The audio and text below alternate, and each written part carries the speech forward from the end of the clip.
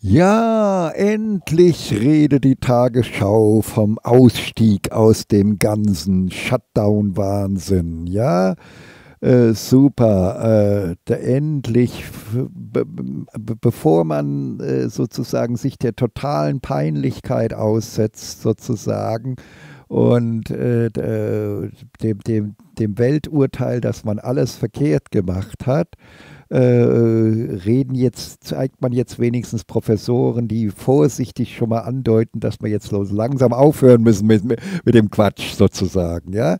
Ähm, wie gesagt, ich, ich bin völlig offen dafür, dass vielleicht am Ende doch rauskommt, dass Corona doch eine gewisse, äh, etwas äh, stärker sein könnte als die Grippe. Äh, ich bezweifelte das nur, äh, aber ich bin offen dafür und empfehle jedem natürlich auch alle Maßnahmen zu befolgen. Das fällt mir auch selbst überhaupt nicht schwer.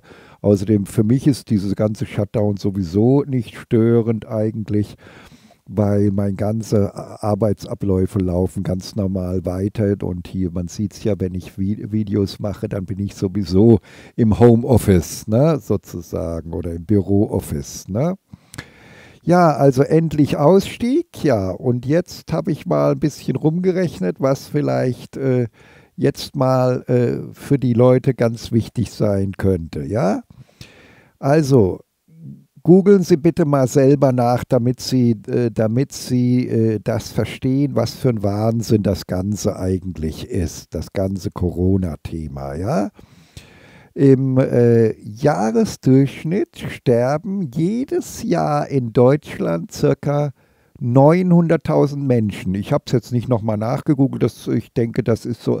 Googeln Sie selbst nach. Das, äh, Sie werden es ja selbst bestätigt finden, dass die Größenordnung also bei 84 Millionen Menschen haben wir einen ganz normalen Sterbe, denn die Leute werden ja nicht 1000 Jahre alt oder unendlich aber alt. Ja, sobald Lebewesen nicht unendlich alt werden, hat man eine kontinuierliche Sterberate.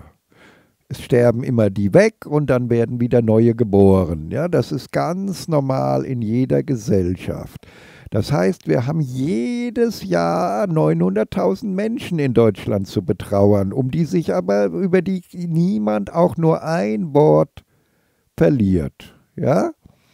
Und äh, das bedeutet, dass wir, wenn wir die letzten vier Monate sehen, dann hätten wir also ungefähr, also das ist ungefähr ein Dritteljahr, äh, genau genommen ein, Richt, äh, genau äh, ein Dritteljahr, und dann hätten wir da also schon mal 300.000 Tote, die selbstverständlich innerhalb der letzten vier Monate jedes Jahr sterben. Und das ist noch zu niedrig gegriffen, denn im Winter werden es wahrscheinlich eher 400.000 Jahr, äh, äh, äh, sozusagen Tote sein.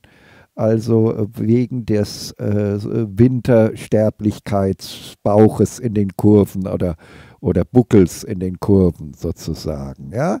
Das bedeutet also jetzt auf Deutsch gesagt, wir haben also äh, in den letzten vier Monaten wären normalerweise 400.000 Menschen gestorben. Und jetzt, äh, das können wir gar noch nicht mal statistisch, können wir das noch nicht mal wahrnehmen, ob jetzt ein paar hundert Tote gestorben sind, ja?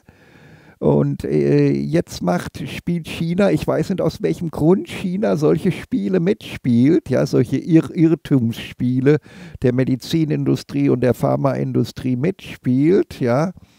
Äh, ich gehe mal zwischendurch nur kurz für die, die äh, für die das, das erste Video hier ist, äh, da ganz kurz zur Information, also hier die naturwissenschaftliche Beweisführung warum Medizin äh, ein Synonym für Irrtum ist. Ja, hier haben wir den, also noch einmal vor vielleicht 170.000 Jahren, den ersten äh, Heiler der Welt sozusagen.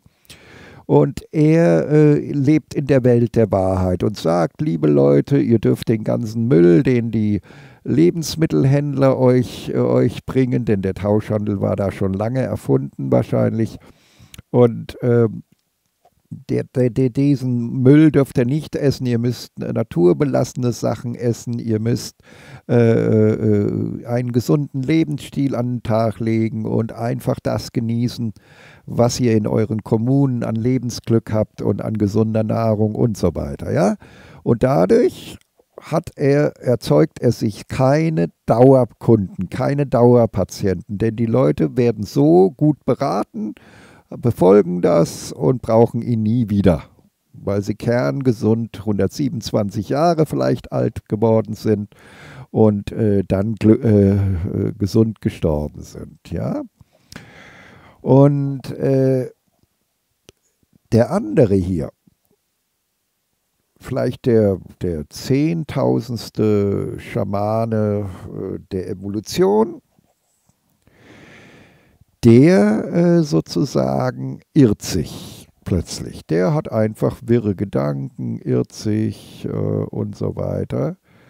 Und äh, letztendlich, weil er sich irrt, äh, sozusagen, äh, sagt er so Dinge wie, ach nein, also äh, ihr könnt ruhig diesen ganzen Chemie-Sondermüll der Lebensmittelhändler essen. Nein, das ist nicht die Krankheitsursache. Nein, ihr werdet krank, weil, weil eure Gene so schrecklich sind oder weil äh, ihr einen Mangel an Medikamenten einfach habt und weil ihr einen Mangel an Impfungen habt und weil ihr einen Mangel an Tests und was auch immer habt, ja. Und dadurch werden die Leute natürlich davon abgehalten, sich um die Ursachen ihrer Krankheit zu kümmern, sozusagen, und da zu handeln. Und äh, dadurch äh, werden, werden sie immer wieder krank und immer, weil die Ursache ja, zum, zum Beispiel die krankmachende Ernährung, der krankmachende Lebensstil immer weiter wirkt sozusagen. Und dann kann dieser hier, hat er viele Dauerkunden, die dauerkrank sind, Dauerpatienten und so weiter, weil er sie ja nie auf die Ursachen hin behandelt, sondern immer nur auf Symptome hin. Und dadurch kann er richtig verdienen und hat richtig Einnahmen, kann viele Kinder, hier zwei Kinder, dann in der, hier drei Kinder in der nächsten Generation. Und daraus, also ganz viele Kinder sind die Folge und irgendwo und sind dann, stellen dann eine Armee von Medizinprofessoren an unseren Universitäten dar, die alle solche Irrtümer in ihren Köpfen tragen, sozusagen. Also damit ist naturwissenschaftlich bewiesen, Medizin ist gleich Unwahrheit. Medizin ist gleich gewinnbringende Irrtümer weil die freie soziale Marktwirtschaft, das Dr. Markus Krall nichts anderes zulässt als solche Evolutionsprozesse, in denen sich die gewinnbringenden Irrtümer ausbreiten und zu einer Gehirnwäsche der Gesamtbevölkerung führen. Haben wir jetzt zum tausendsten Mal bewiesen, ja? So. Und jetzt können wir wieder zurückgehen. Das heißt also, jetzt gehen wir zu den Zahlen zurück. Also, in den letzten vier Monaten sind äh, wie jedes Jahr auch 400.000 Menschen gestorben. Ja? Und ob jetzt nun ein paar hundert zusätzlich gestorben sind oder ob in diesen 400.000 die drin sind oder wie manche Wissenschaftler behaupten, dass dieses, diesen Winter eben nicht 400.000 gestorben sind, sondern nur vielleicht nur 300 oder 250.000 oder nee, 300.000 müssen es ja schon gewesen sein. Also nicht 400.000 gestorben sind, sondern nur so äh, äh, vielleicht äh, 350.000, weil das diesmal ein ausgesprochen milder Winter war. Äh, also der sozusagen äh, da gibt es ja mehrere Wissenschaftler und gute Ärzte, also Ausnahmeärzte, die das so in diese Richtung gesagt haben. Ja, es gibt ja von jede, für jede Regel gibt es auch Ausnahmen. Es gibt auch Ärzte, die sich also gegen diese gegen, die, gegen ihre Professoren entscheiden und sich die, die, die Indoktrination von diesen Professoren sozusagen abgeschüttelt haben. Wir haben ja bei den Next Scientists for Future 2 eben ja auch, äh, Next Scientists for Future, wo ist es? Hier die neue Homepage, da haben wir ja eben auch äh, sozusagen, wo sind sie? Weltrat der Weisen, zum Beispiel hier haben wir ja auch Ärzte dabei, zum Beispiel also von den 20, über 20 Wissenschaftlern sind ja hier nur wenige aufgeführt, aber das ist zum Beispiel ein Arzt, der äh, Dr. Ludwig Manfred Jakob, der sich von den vielen Irrtümern seines Studiums frei gemacht hat und von daher natürlich äh, selbstverständlich äh, ganz nah an den Wahrheiten natürlich ist und also eben viele dieser gewinnbringenden Irrtümer nicht mehr in seinem Kopf hat. Ne? Äh, und äh, sich da entsprechend für Gesundheitsförderung einsetzt ne? und Krankheitsverhinderung. Ja, ähm, also, das heißt also, bei, wenn, wenn dieses Jahr, diese letzten vier Monate nur 350.000 statt 400.000 gestorben sind und in den letzten Jahren eher 400.000 gestorben sind, warum dann ein Totalangriff auf die deutsche Wirtschaft oder auf, äh, ja auch äh, äh, auf, in vielen Staaten ein Totalangriff auf die deutsche Wirtschaft und europäische Wirtschaft, was dann Europa dem äh, Kaputtgehen immer näher bringt, sozusagen. Warum dann das äh, Theater sozusagen? Äh, denn sie würden die paar hundert, die jetzt gestorben sind, ob die jetzt in den 350.000 oder jetzt sagen wir schlimmstenfalls 400.000, äh, ob die jetzt da drin sind also ob sie 400.000 und ein paar Hunderte Tote haben oder ob sie 399.000 äh, äh, äh, also ob, ob, ob äh, und ein paar hundert Corona-Tote haben, sodass sie dann in der Summe wieder auf 400.000 kommen oder ob, ob sie eventuell in der Summe auf 350.000 Tote kommen. Das ist doch wirklich äh, völlig belanglos. Ich glaube, wir können äh, also bei, bei den, den Schwankungen der normalen Sterblichkeit rund um die 400.000 in diesen Wintermonaten der letzten vier Monate, äh, wenn wir diese vier Monate in den letzten Jahren zurückgehen, letztes Jahr diese vier Monate, vor, äh, vorletztes Jahr diese und so weiter, mal fünf Jahre zurückgehen und so weiter, da sind so viele Schwankungen dieser 400.000 Toten, dass das überhaupt nicht äh, von, von Bedeutung ist, ob da ein paar, ein paar hundert mehr sind oder ein paar hundert weniger, ob da mal 10.000 weniger. Das ist völlig irrelevant und vor allem kein Anlass, äh, die ganze deutsche Wirtschaft zu ruinieren. Ja? Also, und, und so viel Arbeitslose zu, zu produzieren und so viel Unternehmens. Äh, Tode äh, sozusagen zu produzieren. Ja, das ist der Wahnsinn. Wer weiß, wie viele Leute, die jetzt pleite gehen, sich dann umbringen und Selbstmord begehen. Jeden Tag äh, bringen sich in Deutschland circa 50 Menschen um. Ja, also, oder äh, denken Sie dran, allein jedes Jahr sterben durch Autoverkehr 3000 äh, Menschen und niemand regt sich auf. Aber wir regen uns künstlich auf über ein paar hundert angebliche Corona-Tote. Also, das sind alles Missverhältnisse, völlig wahnsinnige Missverhältnisse. Und dann wurde China erwähnt, die es jetzt ein Theater machen, irgendeine Gedenkfeier machen. Warum machen die solche Spiele mit? Was läuft da in China? Ist da jetzt die Pharmaindustrie ganz groß oder die Medizinindustrie ganz groß in China und hat die jetzt äh, den, den, den, den, der, der Staatsführung das Gehirn gewaschen oder was ist da passiert? Ja? Also sind die jetzt auch von den Irrtümern angesteckt worden oder was ist da passiert? Denn gucken Sie mal China an, ja. China ist etwa 17 Mal Deutschland. Ja, also die Bevölkerung, ich glaube 1,4 Milliarden. Ja, also wenn Sie die 84 Millionen Bürger Deutschlands mal 17 nehmen, kommen Sie wahrscheinlich äh, ungefähr auf die 1,4 Milliarden Chinesen. Wir haben also China ist 17 Mal Deutschland. Ja, also ja und äh, das bedeutet also äh, wenn wir also äh, äh die lächerlichen 3300 angeblichen Corona-Toten von China äh, der letzten vier Monate teilen durch 17, also auf Deutschlandmaß, dann haben wir gerade mal 194 Tote, also sagen wir, äh, äh, der grob gesagt 200 Tote. Also in China sind so viele Menschen gestorben, wie, äh, so viele angebliche Corona-Tote gestorben, wie, wie wenn wir in Deutschland 200 äh, angebliche Corona-Tote hätten. Und jetzt bei 400.000 Menschen, Sterblichkeit in den letzten vier Monaten ganz ohne Corona, äh, wie, wie, 200 mehr oder 200 weniger, das, das spielt doch überhaupt keine Rolle für einen Staat. Ja? Es doch vor allem überhaupt keinen Grund dafür, die ganze, die ganze weltwirtschaftliche Position Deutschlands und Europas zu zerstören.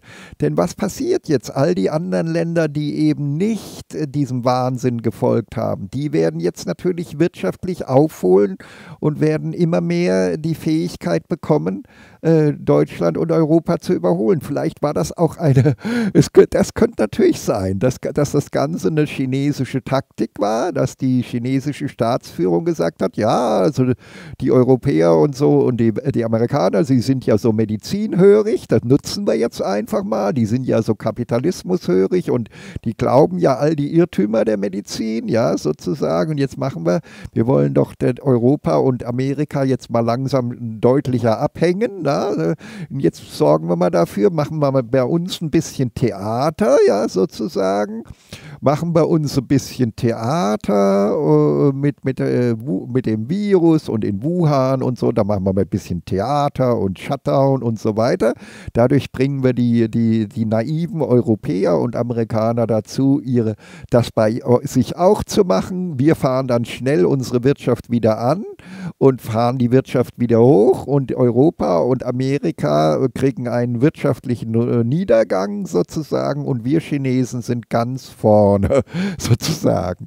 Ja, das ist, äh, das könnte ich mir noch, das würde mir erklären, äh, warum die Chinesen so eine Spielerei mitmachen, wegen, wegen auf Deutschland bezogen in den letzten, äh, letzten vier Monaten eine Schwankung von 400.000 plus 200 Leute Tote oder minus 200 Tote. Also wegen eigentlich einer unbedeutenden Zahl, die in den 400.000, die so no, no, jedes Jahr in, in den Wintermonaten, in den vier Wintermonaten versterben, ist das also wie ein Tropfen auf dem heißen Stein, völlig unbedeutend. Und äh, ja, aber vielleicht ist das ein China-Coup gewesen. Ja, dann gratuliere ich China dazu. Das ist, sie haben gute, sie haben also jetzt Europa, Europas Wirtschaft und Amerika Amerikas Wirtschaft einen Riesenschlag zugefügt über die Gläubigkeit, äh, weil, weil eben die Europäer und Amerikaner immer noch nicht, weil sie immer noch nicht auf die Next Scientist for Future hören, immer noch nicht äh, Wissenschaft verstehen, noch nichts von Wissenschaft, von echter Naturwissenschaft verstehen und deswegen noch nicht erkannt haben, dass Medizin als Grundregel automatisch Irrtum ist, bis auf diese wenigen Mediz klugen Medizinprofessoren, Doktoren und so weiter, wie sie jetzt in den Medien aufgetaucht, in den Internetmedien aufgetaucht waren und auf, bis auf diese klugen Mediziner, äh, die ja natürlich auch im, äh, bei dem Weltrat der Weisen dabei sind. Ja? Ähm, und äh, ja, nochmal ganz kurz, weil wir ja nicht, kein Video ohne Lösungsidee machen wollen, ja. Also immer, weil die Leute ja irgendwie, alle irgendwie viele zu faul sind, die anderen 400 Videos zu schauen, ja. Gehen wir nochmal drauf ein, ja. Äh, das heißt also hier, äh, da ist es. Wir gehen wieder, ach so, das ist die Homepage. Wir gehen auf Weltrat der Weisen. Äh, da hier die Lösungsidee das ist die, die ja auch die Next Scientists for Future 2 übernommen haben, dieser Arbeitskreis von Weltrat der Weisen. Also da, äh, wo steht's? Also erinnern Sie sich kurz an Bhutans, übrigens äh, nextscientistsforfuture.de, äh, alles ein Wort letztendlich, alles ohne, ohne Trennung. Also erinnern Sie sich kurz an Bhutans Bruttonationalglück. Sie, äh, lieber Leser, erhalten also eine neue Wohlfühlwahlstimme, also eine Wohlfühlstimme.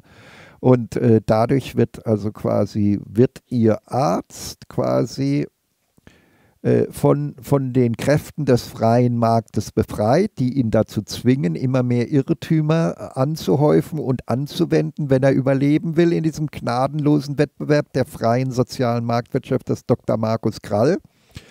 Und stattdessen äh, werden also die wahrheitsorientierten Ärzte werden äh, quasi die Gewinner sein, weil die wenn die also meine Wohlfühlnote und ihre Wohlfühlnote, lieber Zuhörer, äh, verbessern sozusagen äh, und ich seltener krank werde und so weiter, dann kriegen die, äh, äh also wir tauschen quasi die beiden Seiten aus. Die wahrheitsorientierten Mediziner kriegen fürstliche Gehälter, können viele Kinder ernähren und werden irgendwann werden ganze, äh, werden ganze äh, Professorendynastien in die Welt setzen und die die, die mit ihren irr gewinnbringenden Irrtümern, die Standard, die Durchschnittsprofessoren, die einerseits ja, die viele Gelder von der Pharmaindustrie bekommen und so weiter. Das ist ja alles seit Jahrzehnten bekannt, all die Skandale und so weiter. All diese Irrtumsträger, die müssen sich entweder entscheiden, entweder sie lassen sich von den zweiten, äh, von den Next Scientists for Future.de äh, weiterbilden, kostenlos, was die ja kostenlos anbieten, über die öffentlich-rechtlichen Medien dann wahrscheinlich durchführen werden in Videosendungen äh, als Weiterbildung, kostenlose Weiterbildung. Entweder die lassen lassen sich korrigieren oder sie werden irgendwann ihre Praxis schließen müssen, weil sie so schlechte Wohlfühlnoten aufweisen und dann in den Ranglisten als die schlechtesten Ärzte zu einer Stadt geführt werden. Und dann will natürlich da, wollen alle weg und wollen zu den, zu den guten Ärzten, den wahrheitsorientierten Ärzten. Ne?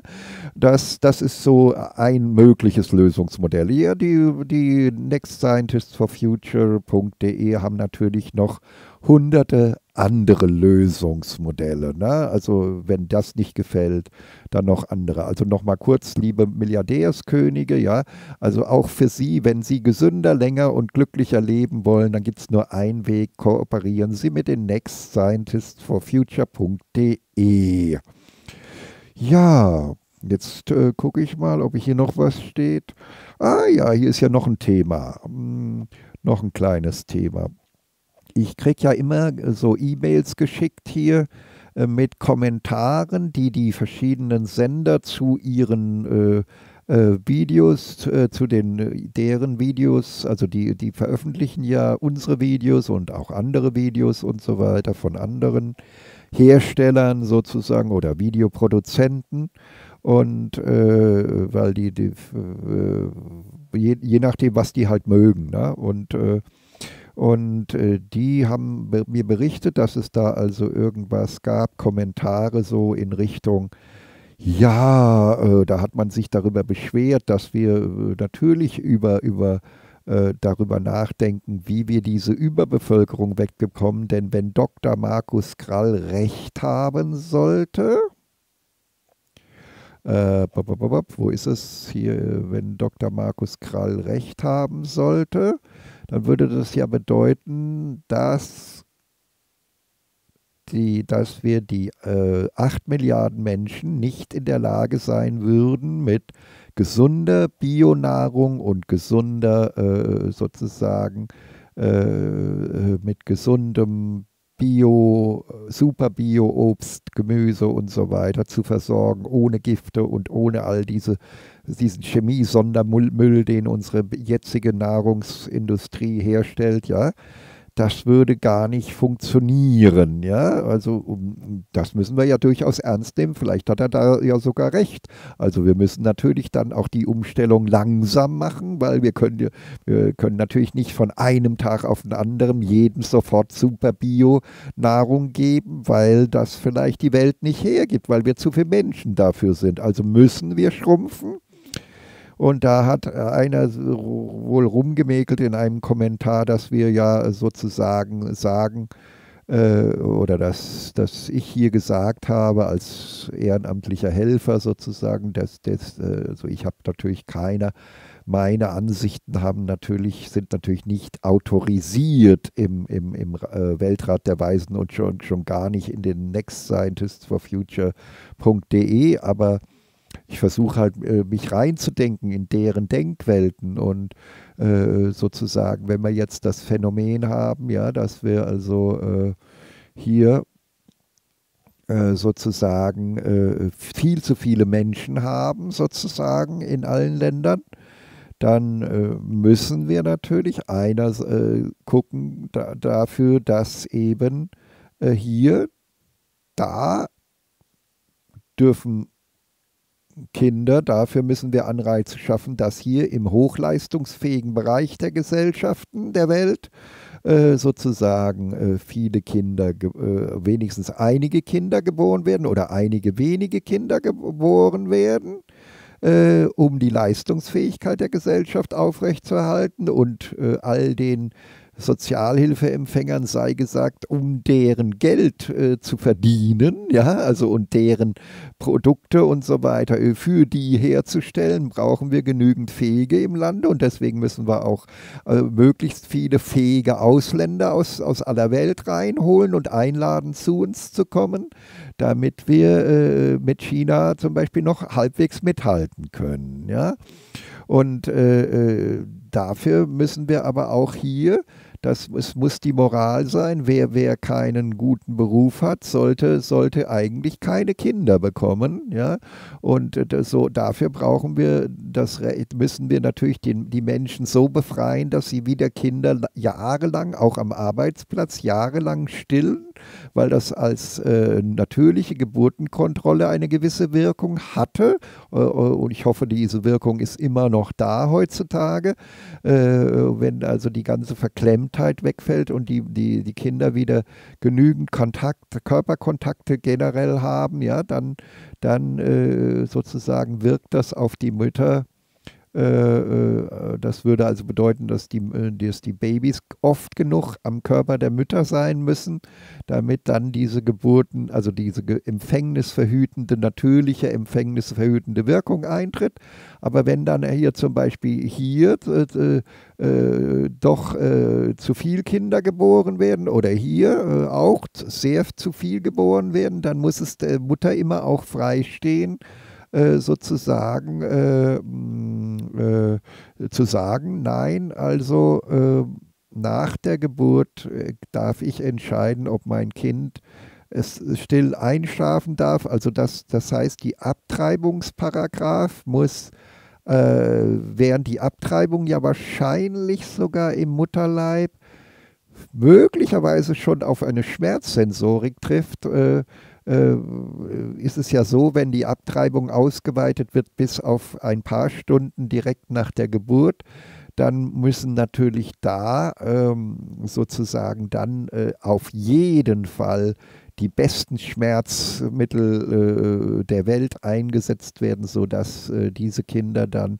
natürlich, also sozusagen äh, äh ein paar Stunden nach der Geburt äh, abgetrieben werden dürfen äh, äh, sozusagen, ohne auch nur den geringsten Schmerz zu empfinden haben. Wie gesagt, so ein Vorschlag zum Nachdenken von mir persönlich war ja sozusagen ähm, ja, äh, Morphium Morphiumöle zum Einmassieren, die dann zum sanften Dahinscheiden. Ich weiß nicht, ob sowas technisch möglich ist, ob Morphium überhaupt durch die Haut geht und so weiter. Naja, aber auf jeden Fall irgendein ein sanfter, natürlich, äh, also äh, schmerzfreier Weg, ja. Und äh, das, äh, das fanden wohl einige Kommentatoren, meinten, sie müssten sich aufplustern, äh, dass das doch schlecht sei oder so.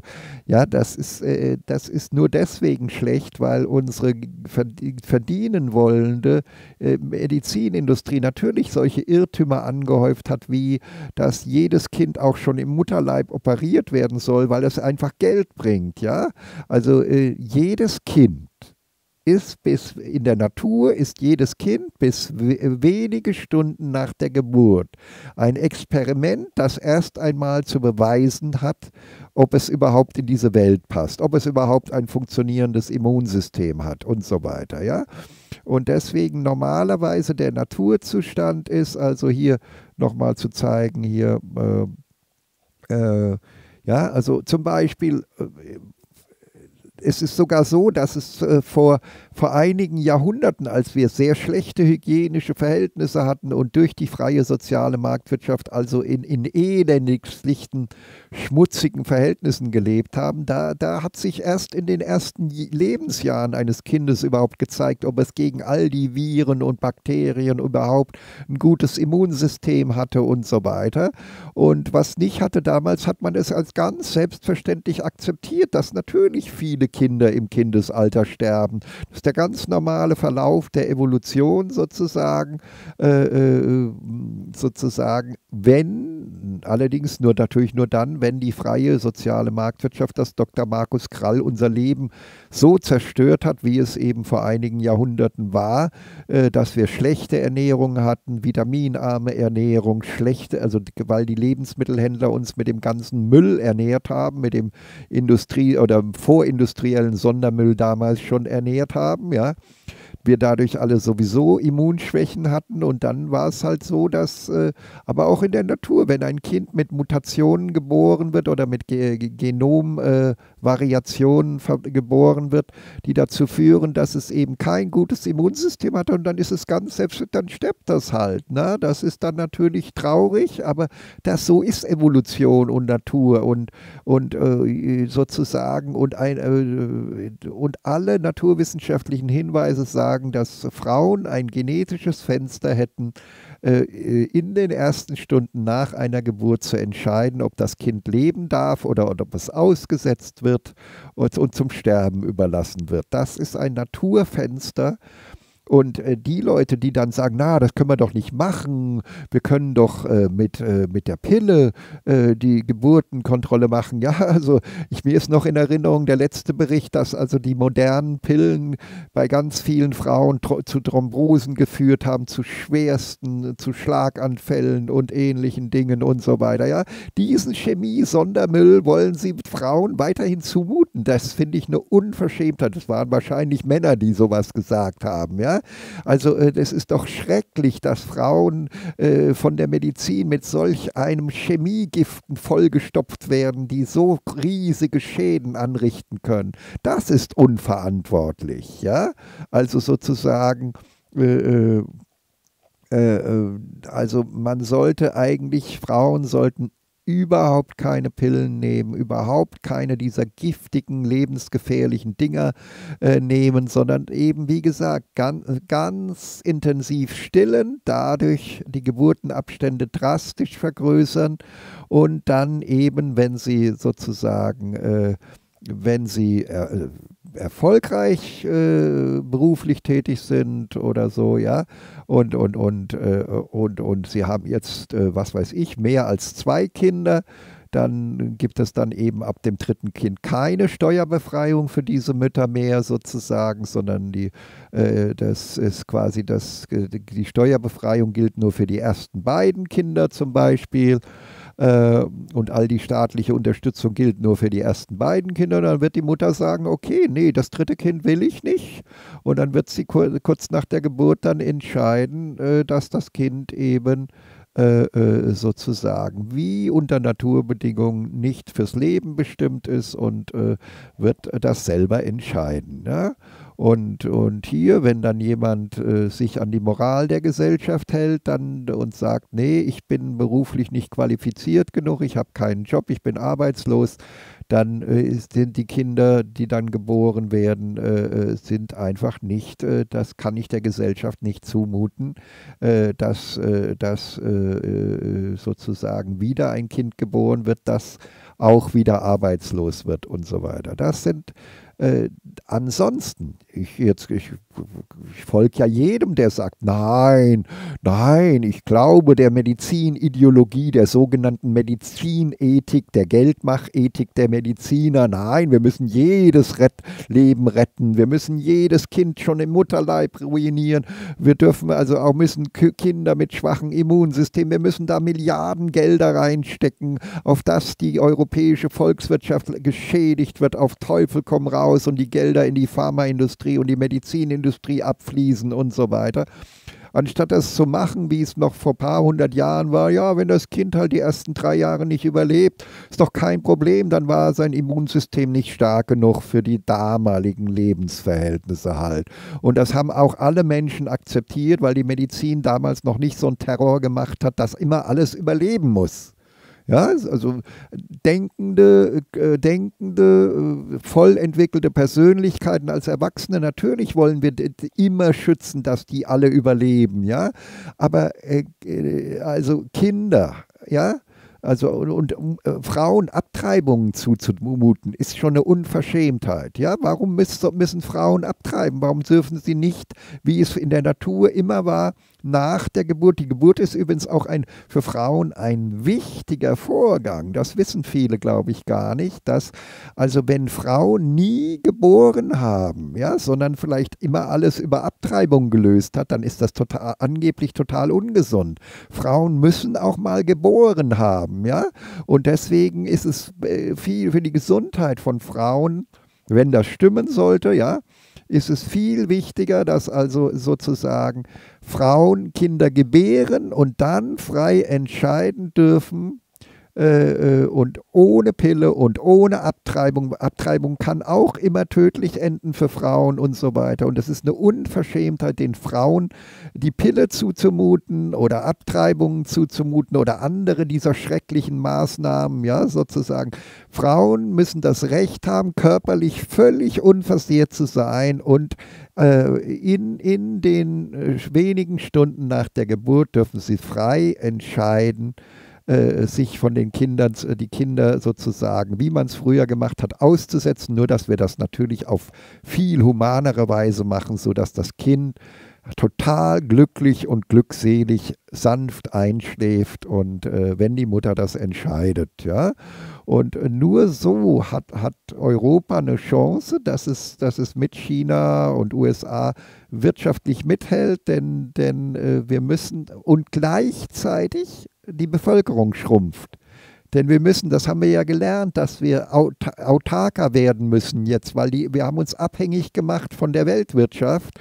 Und wenn die mal jetzt wie durch diese Corona-Hysterie äh, stillsteht, dann, dann, dann äh, hat sich ja gezeigt, wir müssen, das hat ja Sarah Wagenknecht auch richtig erkannt, dass wir eben äh, wieder äh, sozusagen durch eine sinnvolle Planwirtschaft mit sinnvollen Subventionen lebenswichtige Produktion im eigenen Lande halten müssen. Also kerngesunde, naturbelassene Nahrung müssen wir im eigenen Lande halten, halten. Und wenn Dr. Markus Krall recht haben sollte, dass dafür wir zu viele Menschen in Deutschland sind, dann müssen müssen wir schrumpfen. Ja? Ja, wir müssen vielleicht 50 Millionen werden und das behutsam und langsam auf 50 Millionen runter, weil ich, äh, kein vernünftiger Mensch will, will auf gesunde Nahrung verzichten. Wir haben jetzt über, äh, über, über die ganze Zeit der freien sozialen Marktwirtschaft, vielleicht schon 400.000 Jahre lang, verzichten wir auf gesunde Nahrung. Ja? Und das, ist, das, das muss doch mal aufhören. Ja? Also äh, äh, sozusagen. Also jeder vernünftige Mensch soll, würde sagen, lieber reduzieren wir unsere Geburtenzahlen und äh, sorgen aber dafür, dass hier nicht äh, eher noch eher jetzt gesteigert wird, aber hier müssen wir reduzieren, ja.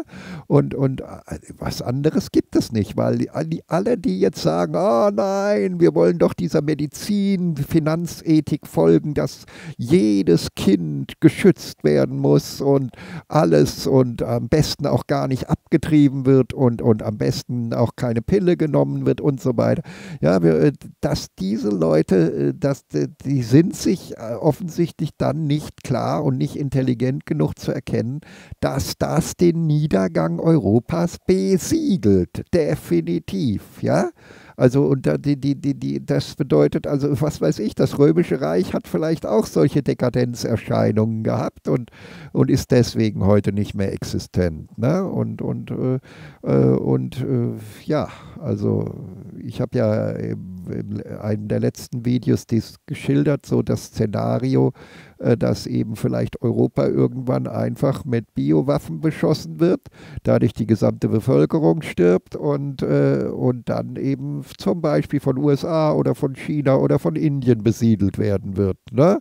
Und äh, ja, und warum, warum müssen wir Europa sterben lassen? Ich sehe keinen Grund da drin. Wir müssen einfach nur das Evolutionsspiel mitspielen und das heißt, viele leistungsfähige Kinder, viele Innovatoren müssen geboren werden und es dürfen äh, und da wir insgesamt die Bevölkerungszahl reduzieren müssen, sollten wir aus diesem Bereich nach Möglichkeit gar keine Kinder haben. Ne?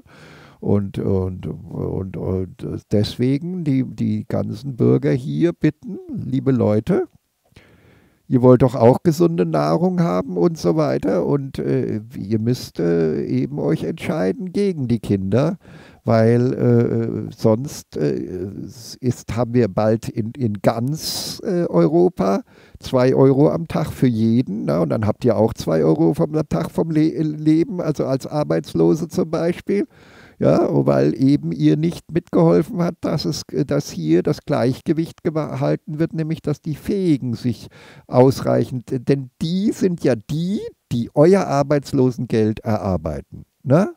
Und, und, und, und, was wollt ihr machen, wenn, wenn ihr zwar viele Kinder kriegt und die alle auch wieder arbeitslos werden oder ein Großteil davon arbeitslos wird? Äh, und und äh, wer soll euch denn ernähren? Ne? Wenn, ja, wer soll euch denn, denn ernähren? Das ist da, dann, dann, wird, wenn ganz Europa sich Richtung Afrika bewegt und zwei Euro am Tag das, äh, die, die Lebensbasis ganz Europas darstellen, dann wird man euch gar nichts mehr geben, dann werdet ihr verhungern. Ja, weil man euch nichts mehr geben kann. Weil wenn alle kurz vorm Verhungern sind, dann, dann wird, wird niemand mehr einen Arbeitslosen durchfüttern. Ja, also niemand, ihr werdet verhungern müssen. Also deswegen äh, überlegt euch euren Protest gut. Der ist nicht sehr rational. Ja, ja. Also, ich fasse es nochmal zusammen. Bevölkerungsreduktion durch Kapitalismus. Ach so, das ist das nächste Argument, ja.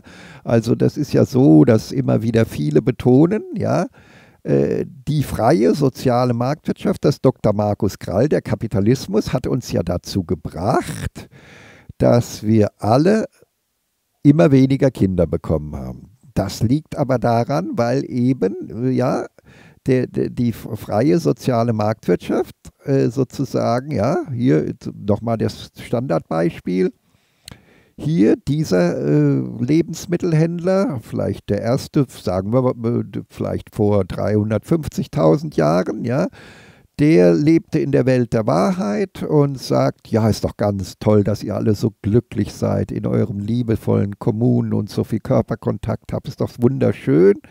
Und der hier, der vielleicht hunderttausendste Lebensmittelhändler, der hat plötzlich einen wirren Kopf. Ne? Der hat Irrtümer im Kopf.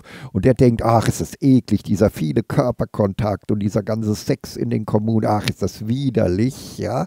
Und äh, äh ja, und die Leute, seine, die Leute, die ihm zuhören, die, seine Kunden, die er besucht, sozusagen, äh, oh, die, die werden verklemmt und äh, unterdrücken ihr Liebesleben und werden unglücklich.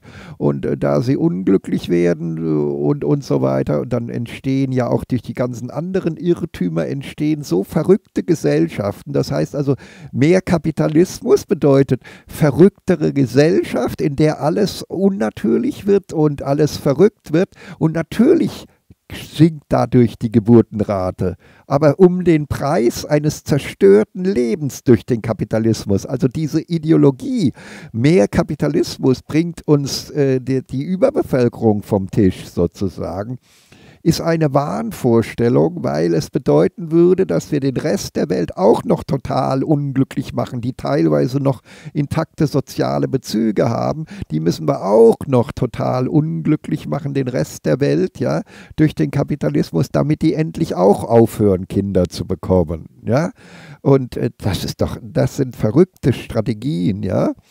Äh, äh, also Bevölkerungsreduktion durch Kapitalismus, und durch Pille oder Abtreibung sind geisteskranke Konzepte einer krankmachenden Medizin. Ne?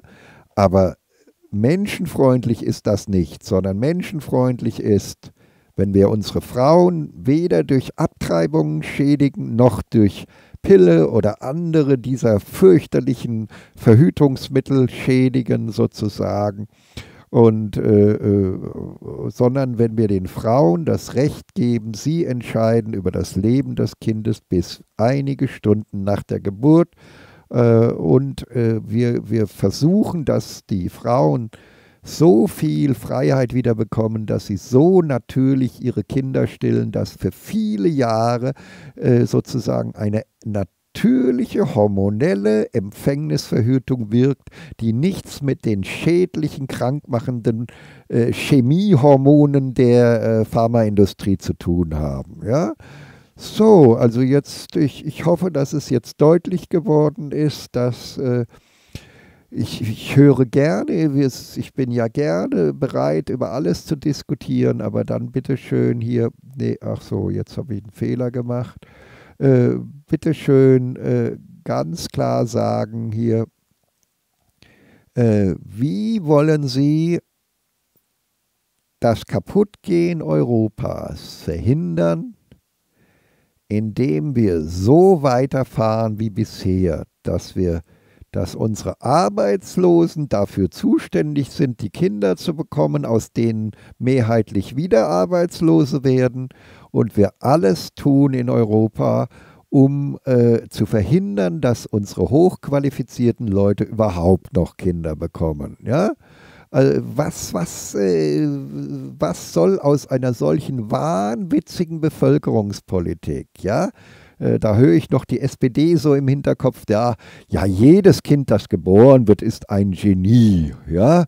Äh, das habe ich aber auch schon tausendmal gesagt, dass es äh, wissenschaftlich, naturwissenschaftlich bewiesen ist, dass man durch die bestmögliche Bildung aller Zeiten, wenn ein Kind hier einer Arbeitslosenfamilie hier geboren wird und äh, mit äh, einem IQ geboren wird, vielleicht von 70 oder 80 oder äh, ja so, äh, dann können wir mit maximaler Bildung es vielleicht schaffen, dass die berufliche Leistungsfähigkeit von der Arbeitslosigkeit vielleicht in der Hilfs in die Hilfsarbeiterfähigkeit geht. Mehr können wir nicht machen. Wir, wir, äh, haben, äh, wir können mit sehr schlechter Bildung äh, das Ganze noch etwas unfähiger und dümmer machen, den Menschen. Und hier können wir ihn mit sehr viel Bildung ein bisschen qualifizierter machen.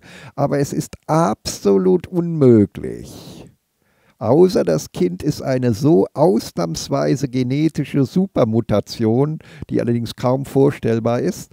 Aber es ist nicht möglich durch eine Bildung, der Apfel fällt eben tatsächlich nicht weit vom Stamm, ja. Es ist nicht möglich, durch Bildung ein Kind hierhin zu verschieben. Das ist nicht möglich, ja. Und deswegen also an alle Träumer, alle antinaturwissenschaftlichen Träumer, bitte erklären Sie mir, wie wir Europa retten wollen, vor dem Niedergang retten wollen und äh, wie wir Europa äh, davor retten wollen, äh, vor dem Zustand, in dem die ganzen Arbeitslosen dem Verhungern überlassen werden, sozusagen, wie wir das verhindern wollen. Äh, ohne dass wir jetzt mal langsam vernünftig werden. Und zwar lernen von der Naturwissenschaft. Ne? Wie gesagt, das sind alles nur meine privaten Gedanken, aber ich hoffe, äh, dass es ein paar vernünftige Leute gibt, denen es einleuchtet, äh, dass die, ich will ja nochmal erklären, wir brauchen ja nur 5% der Gesellschaft, denn wenn wir 5% der Gesellschaft überzeugen, interessiert uns erst einmal nicht, dass 95% äh, der Restgesellschaft nur Bahnhof verstehen, denn diese 5% werden dann anfangen, den, so viele zu überzeugen, dass wir dann irgendwie 31 äh, Prozent der Gesellschaft erreichen und mit 31 Prozent wird also die Partei, die dann sagt, wir übernehmen die Konzepte der Next Scientists for Future.de, die wird dann eben mit 31 Prozent dann schon den Kanzler stellen können und dann werden die, äh, können die Konzepte alle umgesetzt werden. Ne? Ja, äh, so, jetzt, äh, ich glaube, das war's für jetzt, ja. Und nur noch mal für all diese Zweifler, noch mal auch wieder einer dieser vernünftigen Ärzte, der als Präsident des Allgemeinen Patientenverbands in Deutschland ganz klar hier schreibt, unser Gesundheitswesen ist in weiten Bereichen zur größten Gefahr für unsere Gesundheit geworden und dem ist eigentlich nichts hinzuzufügen, ja, in jeder Hinsicht, auch was die Geburtenkontrolle und Empfängnisverhütung anbetrifft. Tschüssi.